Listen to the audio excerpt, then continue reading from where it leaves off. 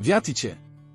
Tematem na dziś jest spokój, ale spokój, którego często brak w naszym zabieganym życiu. Mamy dużo stresu, planów, myśli, które kłębią się w głowie i trudno nam skupić się na chwili obecnej. Mam na to kilka wskazówek, które sam stosuję i które, mam nadzieję, mogą się też Wam przydać. Przejdźmy więc od razu do konkretów. Ostatnio zauważyłem, że ciężko mi usiedzieć w miejscu, że nawet gdy próbuję się zrelaksować i poczytać książkę, moje myśli wędrują gdzieś indziej. Zamiast cieszyć się chwilą, martwię się o przyszłość, o sprawy zawodowe, o różne plany. Takie nieustanne zamartwianie się sprawia, że trudno jest znaleźć chwilę spokoju i naprawdę odpocząć. Nie chodzi o to, że ciągle żyję w strachu, nie jest to aż tak intensywne, ale jednak mocno przeszkadza w codziennym życiu. Wiele osób pewnie doświadcza podobnych stanów, więc dziś chciałbym podzielić się trzema sposobami, które mogą pomóc w lepszym radzeniu sobie z takimi myślami. Nie rozwiążą one wszystkiego od razu, ale ich stopniowe stosowanie może zmniejszyć natłok negatywnych emocji i ułatwić skupienie. Pierwszy sposób jest bardzo przyziemny, ale jednocześnie niesamowicie skuteczny. Nasz umysł, szczególnie gdy ma skłonność do zamartwiania się, potrzebuje zajęcia, które pozwoli skupić się na czymś konkretnym. W moim przypadku odkryłem, że budowanie z klocków, układanie puzzli czy angażowanie się w jakieś inne manualne zajęcie, nawet składanie Lego działa na mnie bardzo uspokajająco. Takie czynności, które angażują nasze ciało i skupiają myśli na prostym zadaniu, mogą być świetnym sposobem na chwilowe wyciszenie umysłu. To może być cokolwiek rąbanie drewna, sprzątanie, układanie książek, szydełkowanie, cokolwiek co wymaga od nas skupienia i powtarzalnych ruchów. Gdy siedzimy sami i czujemy, że negatywne myśli zaczynają nas przytłaczać, warto spróbować poświęcić trochę czasu na tego rodzaju zajęcie. Może to być proste i nieskomplikowane, ale dzięki temu, że angażujemy fizycznie nasz organizm, dajemy sobie możliwość oderwania się od natrętnych myśli. Oczywiście, to nie rozwiązuje całego problemu, ale może być dobrym punktem wyjścia. Drugi sposób jest już bardziej przemyślany. Kiedy zamartwiamy się o przyszłość, łatwo jest pogubić się w ogromie zadań, które przed nami stoją. Zdarza się, że zaczynamy się bać o zdrowie bliskich, o finanse, o rzeczy, które wydają się przytłaczające w swej całości.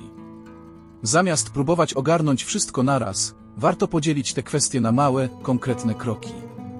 Na przykład, jeśli martwisz się o zdrowie swoich dzieci, żądaj sobie pytanie, co mogę zrobić teraz, dziś, jako pierwszy krok w trosce o ich zdrowie. Może to być proste badanie, może zmiana w codziennych nawykach, ale konkretny krok pozwala odciążyć umysł i skupić się na działaniu, zamiast na ciągłym analizowaniu i rozmyślaniu. To samo podejście można zastosować w innych sferach życia. Jeśli na przykład martwisz się finansami, zastanów się nad pierwszym, nawet drobnym działaniem, które może przynieść choćby minimalną poprawę. Zamiast myśleć o całkowitej zmianie sytuacji finansowej, zacznij od uporządkowania bieżących wydatków. Takie podejście, skoncentrowane na małych krokach, pozwala zbudować poczucie kontroli i skutecznie ograniczyć uczucie przytłoczenia. Jeśli skupisz się na jednym, mierzalnym celu, który jest do zrealizowania w ciągu tygodnia, może to dać satysfakcję i większy spokój. Trzeci sposób dotyczy nauki bycia tu i teraz. Często nasze myśli uciekają w przyszłość, a to prowadzi do zamartwiania się. Warto w takiej sytuacji spróbować praktykować chwilowe wyciszenie. Może być to zwykłe skupienie na oddechu, albo zamknięcie oczu na dwie minuty i pozwolenie sobie na chwilę spokoju, bez analizowania problemów. Takie krótkie, spontaniczne momenty wyciszenia mogą pomóc wrócić do chwili obecnej. Z czasem może to stać się pewnym rytuałem, który pozwala złapać oddech, odpocząć psychicznie, nawet jeśli w tle ciągle dzieją się różne rzeczy, które nas rozpraszają. Zauważyłem, że gdy siadam i na chwilę w ciszy koncentruję się na obecnym momencie, łatwiej mi wrócić do tego, co robiłem wcześniej. Wydaje się, że taka chwila zatrzymania pomaga trochę uporządkować chaos myśli. Jest to praktyka, którą można stosować w każdej chwili, kiedy czytasz książkę, gdy czujesz, że twoje myśli zaczynają odpływać do spraw zawodowych, czy też gdy zwyczajnie zaczyna cię przytłaczać ogrom obowiązków. Moi drodzy, chciałbym, żeby te trzy wskazówki mogły być dla Was pomocą w walce z codziennym stresem. Kiedy wydaje się, że trudno jest być tu i teraz, spróbujcie znaleźć zajęcie, które pozwoli odciążyć umysł.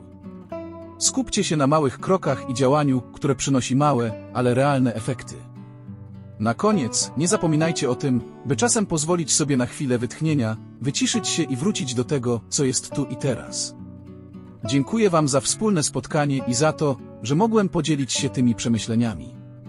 Trzymajcie się i pamiętajcie, że każda drobna rzecz, którą zrobicie, może pomóc odnaleźć wewnętrzny spokój.